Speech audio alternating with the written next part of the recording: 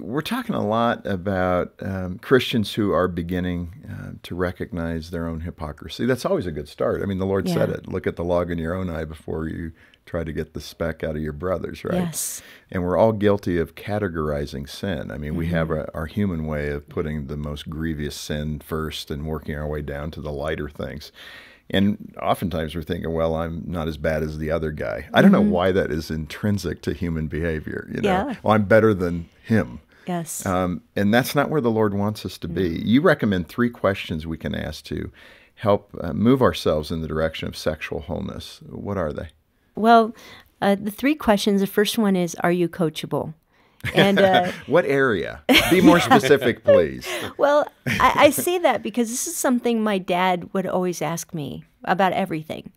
Whenever he would bring me into his office, one of the first things he'd say to me is, Are you coachable? And I had no idea what he was going to talk to me about. But he would challenge my heart to say, essentially, get ready. I'm going to give you some feedback, but you're not going to be able to receive it if you don't have an open heart. So he wanted your permission to speak to you. Right. That's good. And for me to evaluate, do I really want to hear truth? yeah. And uh, and I think that's that's the case. And every time God wants to teach us something or discipline us, we approach the scriptures and we should be asking the question: Are we coachable? When you go to church and you're getting ready to hear a sermon, that's a good question to ask between you and the Lord. Am I coachable? Am I ready to hear something that might feel offensive? Uh, that might make the problem of our marriage seem like it's more on me now than I ever thought it was. Give me an example of what that looks like In this topic. So, for sure, even as we've been talking, some people view sexuality as the world's problem. And, oh, the world is terrible, and every year it gets worse. And what I've been gently trying to say is this is not the world's problem, it starts with the church's problem. That we have not been courageous in talking honestly about sexuality. We have not walked with integrity in our own hearts, in our own marriages, in our own singleness. And so we will not see revival until the church is revived. Mm-hmm. That's a hard message to hear. And some people are just going to want to go, yeah, I don't want to think about that. But if you have a coachable heart, you're going to say, God, is that me? What are you calling me to change? What is broken in my marriage? What sin am I hiding? Hmm. If we do not have that coachable heart, the Holy Spirit cannot convict us and change us. Mm-hmm. So that's just an essential question that I think we all should be in the habit of asking. And I'm grateful for my dad teaching me that as a, as a young child that mm. I cannot learn, I cannot grow if I don't start with a coachable heart. What's the second question? The second one is how are you trying? And that sounds like a weird question, but a lot of times we approach the Christian life, and I would say particularly issues of sin, with wanting to try harder. And in Romans chapter 7, uh, Paul talks about the frustration of trying harder but failing. He says, You know, there's these things that I know are right to do, but my body wages war against my soul. And as hard as I try, I find myself keep failing. And some of you listening right now can identify with that. You've tried so hard to stop looking at pornography. You've tried so hard to fix your marriage.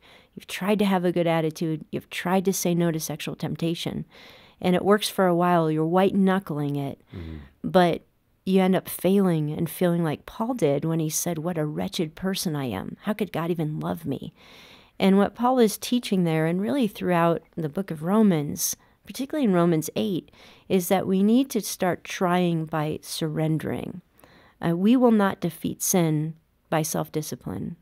We ultimately defeat sin by being broken and surrendered and asking the Holy Spirit to do that work in us. And we could do a whole nother broadcast yeah. on that. That's a deep topic, but um, but it's a challenge to say, Lord, am I trying in my own strength, or have I really surrendered for the Holy Spirit to change me? Yeah. And then that third question is really an encouraging one. It's are you starting small? Uh, and the, the way I think of it is God is not going to tell you what the next 10 years of your life should look like. He'll tell you what the next 10 minutes should look like. Yeah, I like that. That was really good. That applies to all areas It does. of life. And I can do that. I can be obedient and surrender to the Holy Spirit in the next 10 minutes. And in that context, you also mentioned hearing his voice when you should turn turn the channel. I think it was. yes. Yeah. Yeah. How did you phrase that? That was good. I think I, I just said, God, is not going to tell you to change the world. He's going to tell you to change the channel.